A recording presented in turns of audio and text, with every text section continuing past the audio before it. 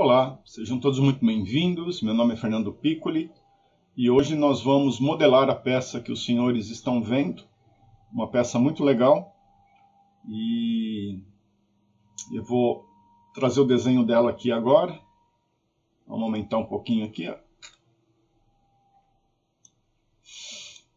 Pronto. Então, os senhores acompanhem comigo, né? Aqui, ó, tem 50 por 175 e por 6 de altura. Então, a primeira coisa que eu vou fazer vai ser essa base criada na vista top. Ok? Ó, 175 por 50 por 6. Vou minimizar aqui. Ó. Então, eu vou vir direto aqui para o Autodesk Fusion 360, né? Então, eu vou criar esse sinalzinho de mais aqui, para criar um novo arquivo, ó, New, novo. Vou clicar aqui para criar um desenho bidimensional 2D, que é um Create Sketch. Vou clicar aqui. É, eu tenho que escolher um plano de trabalho, né? Qual das vistas, qual plano eu vou começar a trabalhar. Então, vou clicar aqui para escolher a top. Ó. Eu clico. Beleza. Eu vou dar um L Enter. L. Na realidade, não precisa nem um Enter, é só o L. Vai pegar o line, a linha. Ó. Vou criar uma linha. Vou dar um ESC, vou dar um L de line, de linha, e vou clicar aqui. Ó. Beleza.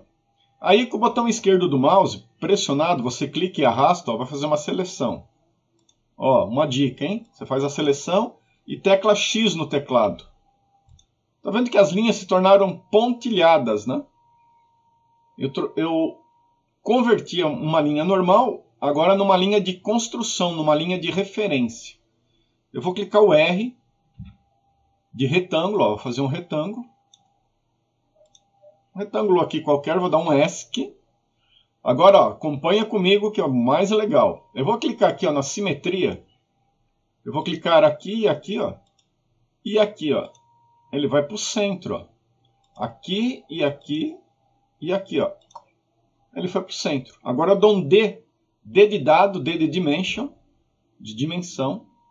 Daqui para cá, ó, é 175. Vamos ver aqui o desenho. Ó, 1, 175 e 50. E daqui para cá é 50. Finalizo aqui, ó, finish sketch, ó. Finalizei o desenho.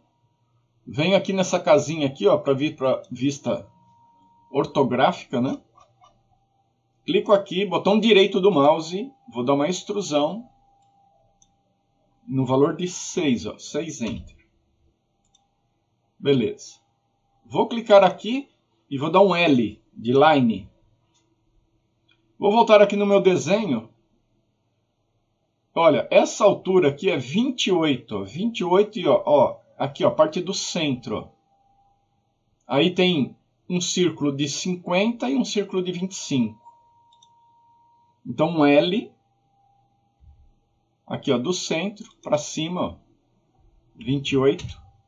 Um C de círculo de 50 e um C de círculo de 25. Vou voltar no meu desenho e daqui, ó, até aqui onde começa essa linha, tem 32, ó, 32. Então, um L, daqui, ó, para cá tem 32. Beleza. L de novo. Aqui você vai deixar a tecla Shift pressionada e clica aqui, ó. Ele já vai pegar, ele já vai pegar a tangência. Aí eu clico aqui, ó. Vou dar um ESC, seleciono essa linha, Venho aqui no Mirror, que é espelhar. Seleciono o eixo que eu quero espelhar ó, e dou um OK. Finalizo aqui o sketch. Seleciono esse, seleciono esse, seleciono esse. Com o botão esquerdo do mouse, botão direito do mouse, dou uma extrusão no valor de menos 9. Vamos olhar no desenho aqui, ó. Essa valor aqui, ó menos 9. E aqui, ó, de 9 para de 12 para 9, a diferença é de 3. Então, essa outra aqui, ó, essa espessurinha aqui é 3. Não está cotado, mas subentende-se, né? Você tira por analogia, né? Por é, usar aí um pouquinho de cognição, né? De raciocínio lógico e aí você tira essa medida. Então aqui, ó, no C de círculo, pego o centro e clico 50. Finalizo clico aqui, dou um botão direito do mouse, dou uma extrusão, 3, Enter. Vou selecionar aqui, vou dar um C de círculo, vou dar um L de line,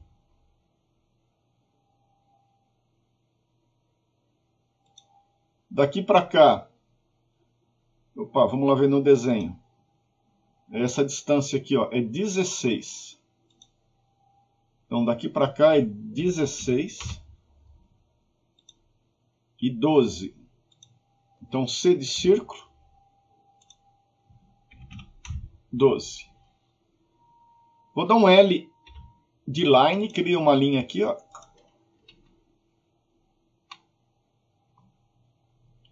Seleciono aqui, venho aqui no Create, Mirror, espelhamento, seleciono o eixo, que é esse aqui, e dou um OK.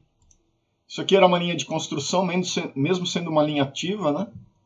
Mesmo que eu não tenha dado X, mas eu deleto, que eu não preciso mais. É, essa linha também eu não preciso mais, que é uma linha de construção. Finalizo o desenho, venho na casinha aqui, ó. Seleciono aqui, Shift. Para pegar os dois, botão direito do mouse, dou uma extrusão. Para baixo aqui está em Cut, ó, cortar. Ok. Seleciono essa aresta, essa linha. Seleciono esta aresta, essa linha. Venho aqui no Modify, clico no Fillet e um valor de 9.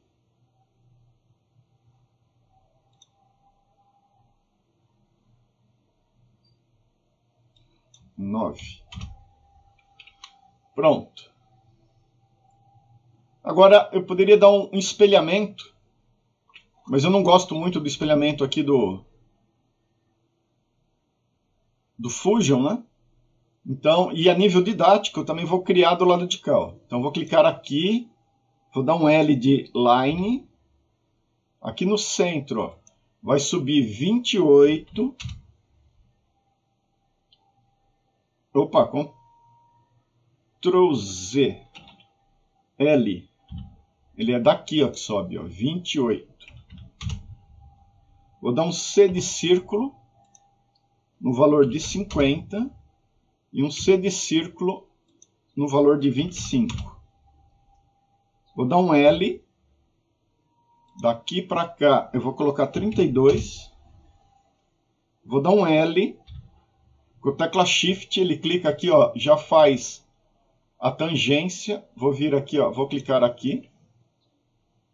É, vou dar um ESC Vou selecionar essa linha, vou clicar aqui no Create Mirror, selecionar aqui, ó, aqui, e vou dar um OK. Vou finalizar aqui, ó.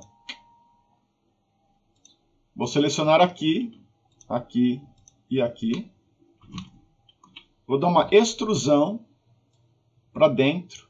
Então é menos 9 Vou selecionar aqui, vou dar um C de círculo. Vou pegar aqui o centro, que faz a bolinha, que é o centro. 50. Vou finalizar. Vou clicar aqui. Vou dar uma extrusão de 3. Vou selecionar aqui. E vou selecionar aqui. Vou vir no Modify, dar um Fillet no valor de 9.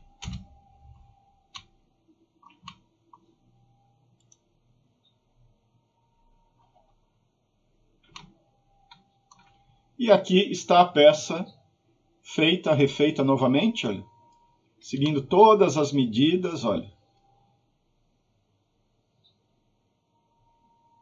Vamos comparar aqui, ó.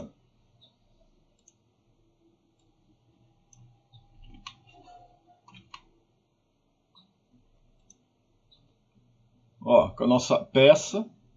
E o resultado final está aqui, né, ó.